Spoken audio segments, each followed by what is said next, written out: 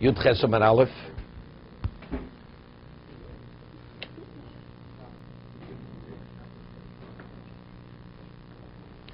Okay, we left off Yud Chesam and Aleph. Miss Howard. Howard disappeared. You have another, the Gemara's right over there, right, right on the table.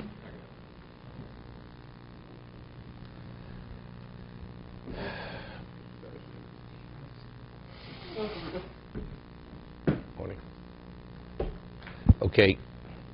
Tanu Rabbanon. Okay, two dots on Yudchesem and Aleph. Yesh Ivri, she'em bivriyo. We find laws that pertain to the Eved which do not pertain to the mm-hmm. maidservant, the Jewish maidservant. Yesh bivriyo, she'em bivri. And the laws which pertain to the Ivriyo, to the Jewish maidservant, which don't pertain to the male slave, Jewish slave. Yesh b'ivri, she'em b'ivri- yesh b'ivri. What do we find that applies to the Jewish male slave, not to the Am Ivriyo? Shu yotze b'shonim. That after six years, he's released. Ubiyovel, when the Yovel comes, he's released regardless when it happens during the period of time. Uvamisas odon. And when the master dies, Mashenki b'ivriyo. Which is not the case with Ivriya, which the Gemara is going to ask, what do you mean? We had earlier that whatever the Ivri has except for the Martzeah, even the Ivriya has, even the maidservant has. And the maidservant has an additional, she's Yotze B'Simonim. When she reaches puberty, she goes out. Yesh B'Ivriyo Shehi Sharei Ivriyo Yotze B'Simonim. She leaves, she gains her freedom with puberty. Ve'ena Nimkeres V'Nishnis, which the Gemara is going to discuss. She cannot be sold more than once by her father. Okay, the Gemara going to ask. If the father sells it once, and we're speaking where the master, did the master marry her, did he not marry her? Let's say the master marries her. There's, there's a concept known as Yisoma B'chayav. You could have an orphan, although her father's alive. Ernie, you know how do you have an orphan if her father's alive? Right? So the Gemara says that on a Torah level, a father is permitted to marry his off his daughter even as a minor. As biti nosat lishazeh, fathers believed it can has the ability, has the rights to marry off his daughter even as a minor.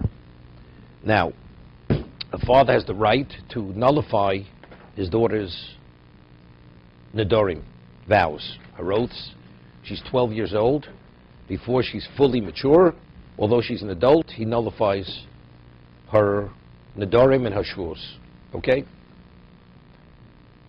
What happens if sh there is erisin.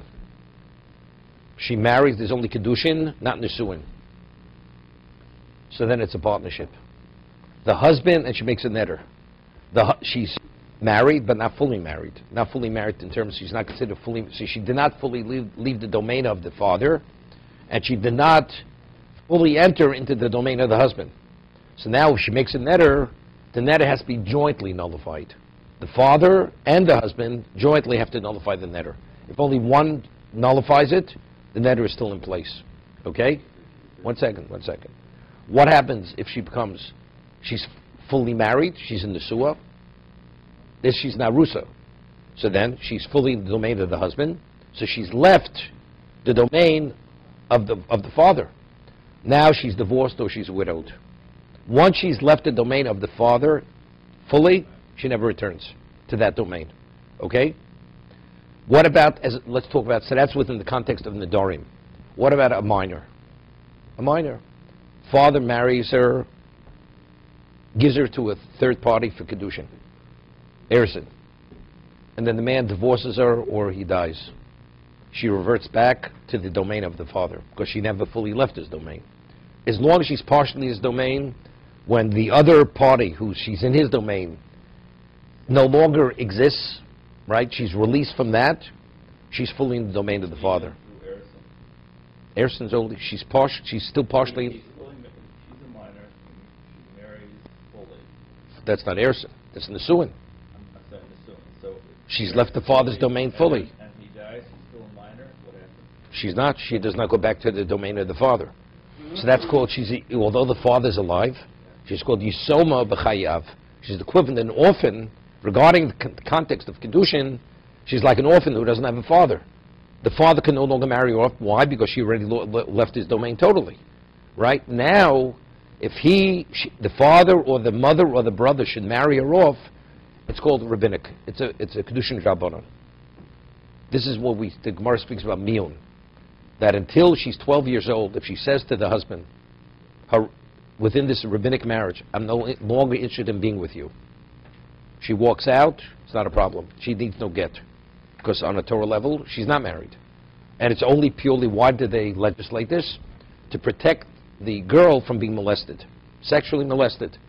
That the husband would actually take care of her as a minor. Once she reaches, let's say you have a Kedushin Rabbanon, and now she reaches adulthood, and the husband did not consummate the marriage after she reached, reaches adulthood, it's still rabbinic. But since she appears to be an adult, and she is an adult, now she needs a get. Before she reaches adulthood, she could just walk out. Say, I'm not interested in the relationship any longer. But once she reaches adulthood, although the marriage is still rabbinical, now if, the, if she wants to be free to marry another party, now she needs a get to release her. But that, again, it's rabbinical. Okay, that's the halacha. So what we say over here, Shari, Ivriyo yotze b'simonim, ve'enu nimkeres v'nishnis. She cannot be sold and then sold again. You cannot be sold twice.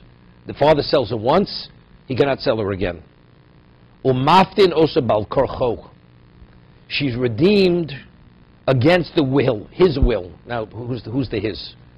The Gemara has a question. Is the his means the will of the master, or it means against the will of the father? That's the question. Mash'enge be'ivri, which is not the case with an ivri, with a, with a male slave. A male slave could be sold endless times over. Person steals or he financial hardship, he sells himself for six years, he's out, sells himself again. A man, male, could sell himself as many times, or the court could sell him as many times as he has to be sold. You know, steals again, they sell him again for what for to to compensate the person he victimized. But a, a girl, she cannot be sold more than once. Why is there any question about whose will we're, against whose will here, either the father or the, the master? I mean, the master has the person in his, in his, uh, right, in his jurisdiction, right? So, so where's the question? Why No, let's wait a second. Wait. The Gemara says like this: a male Jewish slave. We had earlier. It's a pasuk in the Torah. We learn it from from a Jewish slave being sold to a non-Jew. It says v'chishev in. It's called giron kesef. If the man comes up with the money to reimburse the master for the for what he paid for him, and there's a balance, and he pays him that, the master is obligated to release him. Okay. So we speak about over here that you could redeem yourself against the will, uh, let's say it's the master. We're not speaking about you're giving him the, actually value. That's understood. That's not against his will.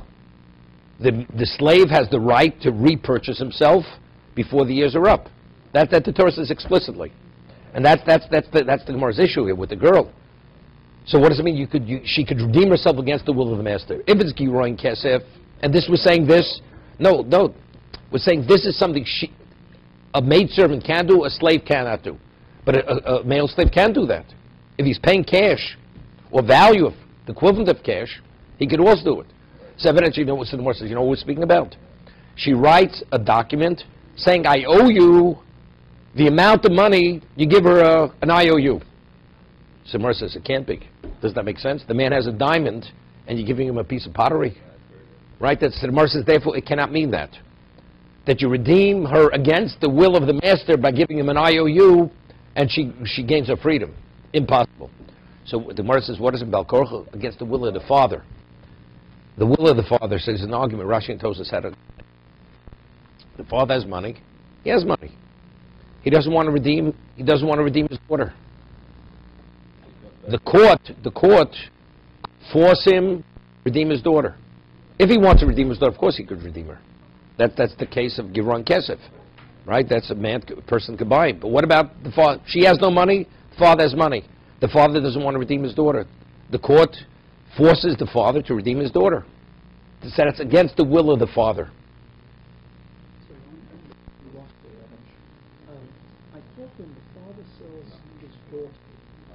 Purpose of that is.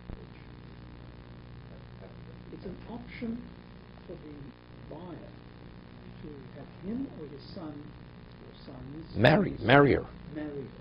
Because why does a man normally sell a daughter? Because he's fallen on the hard times. But what the, re- the concept. I understand that.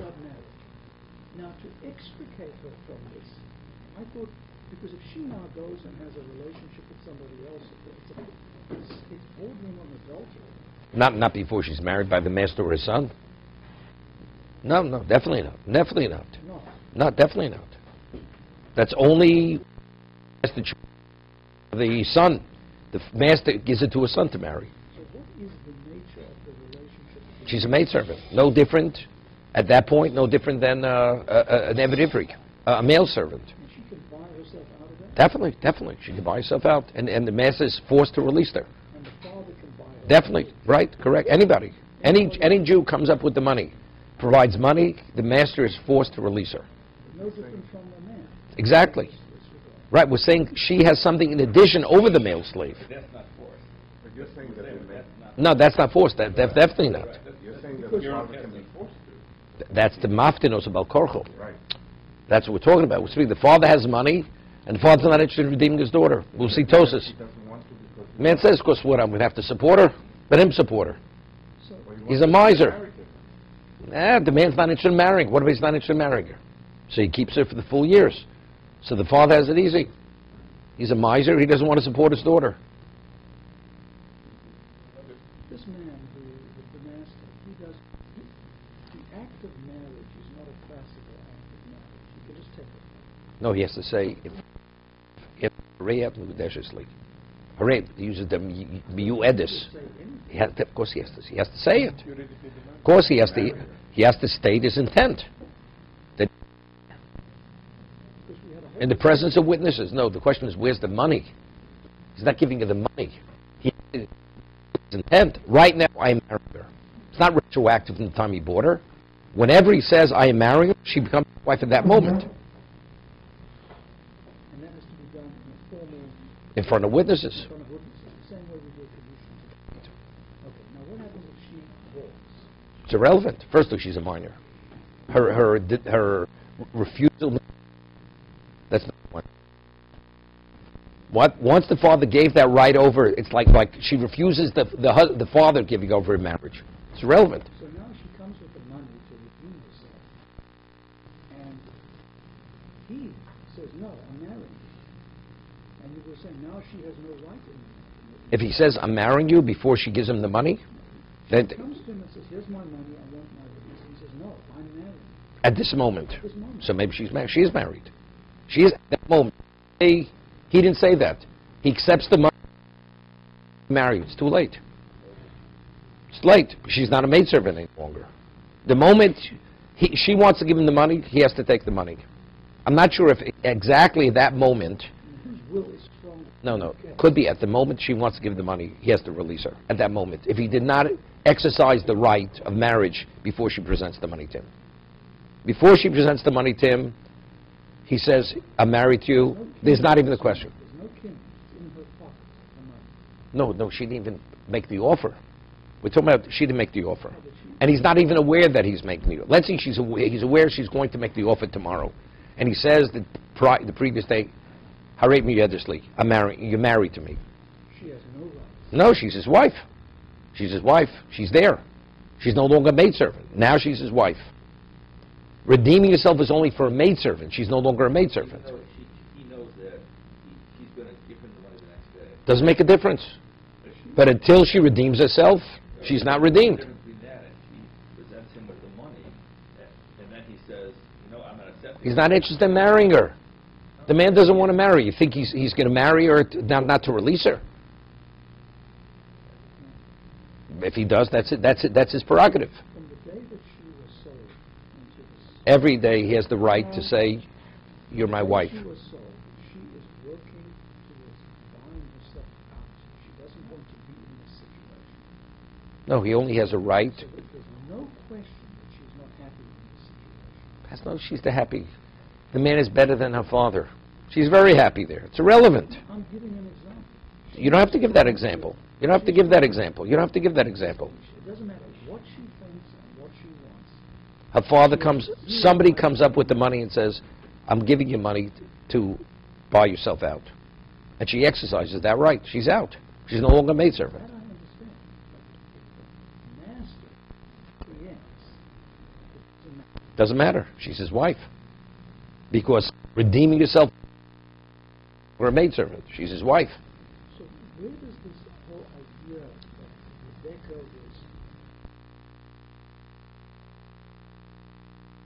We'll come to the second parak. The Gemara says, of course, she should be asked. She should be asked. When a father, not within the context of Almevria, if a man marries off his daughter as a minor, and she should be asked, and she, we're talking about she's old enough, where she has an understanding, do you want or don't you want? She should be asked that question, although she's a minor. Why? Because it says, "V'ahavta l'recho kamocha." That's the basis for it. Because just as you would want to be asked, being put in such a situation, "V'ahavta l'recho kamocha." So wait what Satosa says over there at the beginning of the second parak. Today, ask that. Minor says because today, very serious, terrible times, loose, it's the best interest of the, of the daughter to. Otherwise, you never know what what the, what what the daughter tomorrow. Tosa says that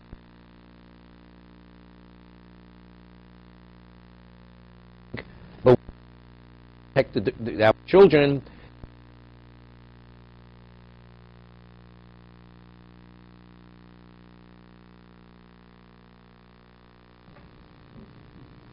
so is there this age at which a girl can be sold as a maidservant She can be sold from the moment she's born, moment she's born? even though she can't do anything. But she's a maidservant. So, so theoretically, it's a six-year. It's- six I am marrying this infant. I understand. She could be asked when she's three years old, and she has no understanding. She doesn't have to be asked. The, the master says in presence of witnesses, "Girl is my wife." The father is selling the girl at Age age three. three. Age she has no understanding about anything. Correct. By the time she gets to eight or nine, before the end of the six years, she now has an understanding Okay. about what condition she's in, and she has zero interest in being in this relationship. It's just too bad. Exactly. Exactly. Exactly. What would be the father would do it, and the father says it's too bad. Is the father doing the right thing? The answer is no. But she's married. Because she's un- under the jurisdiction of the father in regard to marriage. And becomes an adult, he has that right to marry whether she likes it or not. But what's the optimum way to do it? You should consult with her. And that's what we learned from, from Rivka.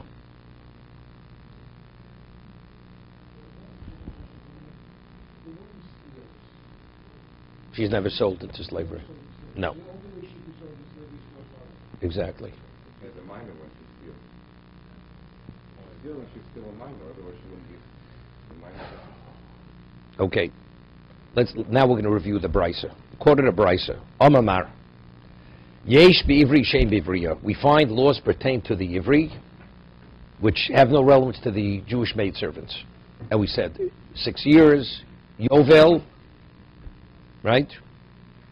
And Nisa Sa'odon, the death of the master. Ramini, we learned earlier in, the Mishnah, Yisera Olav Amivriya, that in addition to what, what we find by the male, male, male, Jewish slave, it's Yisera, she has an additional way of exiting. Shekonet Asm B'Simonim. Is that how we reconcile the two? So she's also Yotzes B'Sheish and B'Yovel Mises Odom. That how we reconcile the Brisa with the Mishnah? Omar Rav Sheishes Gochi Yiyado. We're speaking where he married her. When the master marries her, she no longer has the option of the six years, Yovel, or the death of the husband, de- death of the master, because it's no longer a master, it's a husband. Versus Pshita, Yida Pshita. You have to tell me that. She's no longer a maidservant. All those laws pertain to, a, to an Amivriya. She's no longer an Amivriya. Correct? Rabbi, the Gemara is going to ask that question also. But right now, the Gemara is asking Pshita. Pshita, it's understood. Gita boy. I mean, is there even a consideration she go out with Sheishonim? She needs a get. She's a married woman. Right? So Mara says, "Maudesemo lo lo hilchso mino." You may think that the halacha of Sheishonim or Yovel or the death of the Odon, that should not cease to be, cease to apply to her. Kamash Malon, that it does not apply to her. Why, if it's cheaper to use the board, then how can we even think that? Good question. Right? The obvious is a good question. Okay. So now, so the way it's explained, the Rishonim explained it this way. Normally, if a woman wants a get, it's irrelevant what she wants. Unless it's within a halachic reason that she has to be divorced, the woman is actually, she's, she's, she's bound to that relationship. And unless the husband agrees to divorce her, she, she's, not, she's not released. If Besdin intervenes, they could force him to release her. Because, but he has to say rotzani. He has to consent. Under, under duress, under coercion, he says yes. But any other way, she cannot be released. But I would think, since the Torah says Sheishonim or Yovel, I would think maybe over here, because since over here she only entered in as a maidservant, of course she'll need the get. The only way this relation could be terminated is a get. However, when six years comes, she has a right to demand, I want to be released. I don't want to stay in the marriage. Under normal, a normal marriage where she enters, she consents to enter into that relationship, then it's up to the husband to release her or not to release her with the get. But over here, I would think she retains the rights of the Omevriya of the Sheishonim and the Yovel. And therefore she could demand the get after six years. Kamash Malon, no. If she becomes his wife, it no longer has relevance to her. Differentiating between two different types of marriage, this is a different marriage. It is a different, it is a different kind of marriage. It's still marriage, still being married. No, it's no, no, no. Okay, let's let's look. You know, women say it's not fair. It's not fair. The man he controls the wife. Let's say a woman knows in advance. Jewish marriage means when you enter this relationship, there's no exit unless the husband releases you from it. And woman says, you know, something I'm okay with it, because I believe the issue will never come up in the future. They said, but you know, theoretically, he said, you know, something I'm willing to take the chance. And that's the reality of Jewish marriage. So she's entering into a relationship initially knowing that there's no exit clause out of this relationship unless the husband releases you. Okay, so he's stuck there forever unless he releases you. What about an Amivri? How did she get involved in this relationship? Right? That, that's not the understanding. Torah says Sheishon and Torah says Yovel. So I would say even though he has the right to marry her, but within that context, six years comes, she has a right to be out. Of course he has to give her a get, because that's the only way you terminate marriage. But that's, that's the initial understanding of, of the nature of this relationship. That's the difference. Kamash Malon, no. Once she becomes his wife, she's bound to all the laws of a wife, and Sheishanim and Yovel no longer has any relevance. She's no longer number. She's a wife. She's changed the status, so therefore Sheishanim is aloch and omivriya. Yovel is aloch and omivriya. She's not an omivriya, she's a wife. Right? That's the understanding. For a Noahide woman, how does she extricate herself from the marriage? Now, what's the basis for marriage for a Noahide woman? What we call a Gentile. It says V'dovak v'ishto, right? We read by Odom, last week's parsha. It says, what, what V'dovak v'ishto, he cleaves to his wife. That's marriage by a non-Jew. Two people agree to live together as man and wife. That's, that's marriage. What's divorce? We'll see you. I'm, I'm, I want to extricate myself from this relationship. And that's it. And she and she she could walk out as he could walk out. Either. Way. Either way. Right? Is there a concept of adultery? Definitely. Definitely. Definitely. Definitely. That's that's the that's the basis for adultery. It says v'davak b'ishtov l'beishes chavero. You're only permitted to cleave to your wife, but not to the wife of, of another man. Mm-hmm. So let's say a woman, you know, they're, they're, they're okay together, but she wants to have an extramarital affair. That's adultery. Because you do have a husband. How do you have an extramarital affair if you have a husband? And the consequence of this? Death. The law- A- Any one of the Noahide laws. A, a non-Jew steals, he's, he's, he's liable for the death penalty. that one of the the seven? Yes, yes, yes. Adultery is one of them. Yes. It is one of the seven. And it, this, is, this is the basis. V'davak b'ishtov v'beishes chavero. But she can terminate. What? She can terminate. She could terminate. She could terminate. No, there is a kinyan. The agreement, that that they agree to be together, that's marriage. They, they, they decide that the parting, that is, it is a kinyan. It is a kinyan. It's a meeting of the minds, but not. Okay, but, the, but, the, no, what I'm saying, but there's a consequence. The, king doesn't mean, there's a consequence. What is king? There's a consequence. There's, there's a bond, right? What is, what is, what does kinyan mean? There's a bond. There's a bond between them. But there's a bond. Can they do this multiple times? They Sure. Definitely. Well, it's no different in Jewish marriage. A man can marry his wife, divorce her as many times as he chooses. That's something else. No, there could be, but he can't come back. Eh, But, but if he comes back, it's, it's a marriage, but it's, they're living in sin. Right? It's like a Cohen marrying a Grusha. Right? A man divorces his wife. And she remarries, then she gets divorced, then the, that, not, but let's he remarries her. It's a valid kedushin. Right? The marriage. She commits adultery, it's adultery, even though the second husband is, wasn't permitted to marry her. It's like a Cohen marries a Grusha. And then she commits adultery. It's adultery. So the Jewish woman is much more restricted in her freedom than a non-Jewish woman. And this is ridiculous. Okay. Yeah. You know what the Rambam says? There's a posuk. It says umodor et zimo. The land becomes rife with zimo. Zimo is promiscuity, illegitimacy. So he says, how do you really keep a lid on it to know parentage? That brothers and sisters should not. You should not. You should not ultimately come to incest.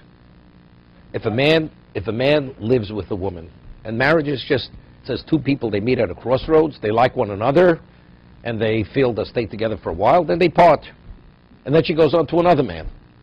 So she may have, she may, she may actually, she may be pregnant, or she is pregnant. She's not pregnant. How do you keep, how do you keep count of how many relationships he has? So she has a son, then she has a daughter. She doesn't know. We don't even know who the parentage of who what. A brother ends up marrying a sister. So ultimately, the whole society becomes rife with, with incest. The Torah says no. Man is married to woman. She's, she's exclusive to the husband. And unless you undergo that particular ritual called divorce, she's bound to him. She's locked in. She's locked in. She can't. Because there's, there's a concept of Kedusha Yisrael. There's Kedusha, which has no relevance to the non-Jew. So it's really, it's a safeguard to maintain the, you know, there's the famous Ramban.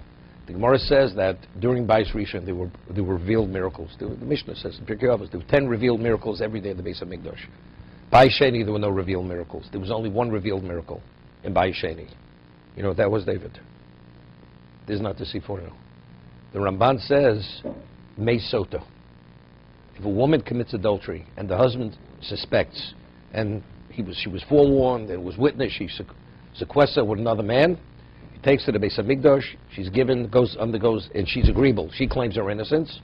She undergoes her, the Sota ritual. What happens if she committed adultery? Something miraculous happens. She bloats and she dies. There's a miracle.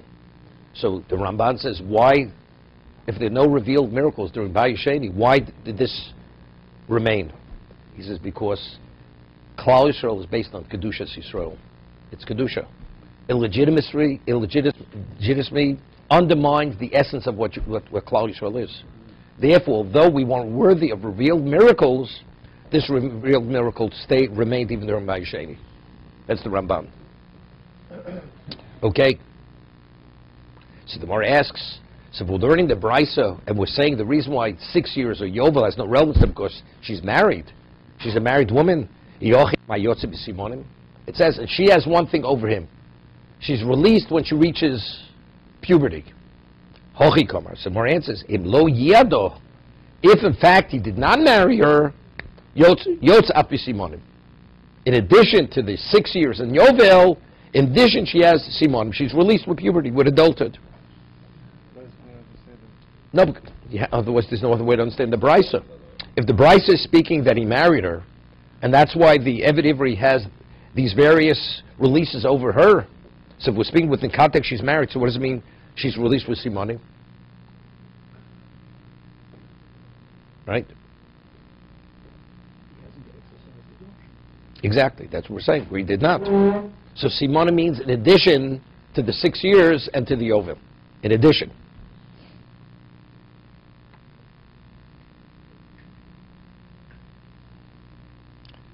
You know, it's interesting. A father, we, we discussed this. The halacha is that if two people buy an esrog as, as a partnership, right, shutfin, partnership in an esrog, they're not yotzei. Unless it's a matonam laslahzir. Right? Unless you give it as a gift, although it's a conditional gift, but when you take the esrog, because it's lochem, it has to be lochem. You have to fully own the esrog. So the Rosh in, in Sukkah discusses a case. A person purchases an esrog in partnership, and the man says, look, for 30 days from Rosh Chodesh, Tishrei, until for the full month, the esrog is mine. In Cheshvan, you could have the esrog. You could have it forever. That's what he tells his partner. So during Tishrei, the esrog is fully yours. The month of Tishrei, a yotzei. So the Rosh says you're not yotzei. Because factually you have a partner. Because you have a partner in the esrog now, although he cannot exercise any of his ownership rights now, but it's after Tishrei. So even now, when you own something, you own something for now and forever. So presently, there's another interest in the esrog besides the one who has the esrog. That's a partnership. Lochem means it has to be fully yours. Factually, the esrog, even during the 30 days, is not fully yours. Because after 30 days, your partner has an interest in the esrog.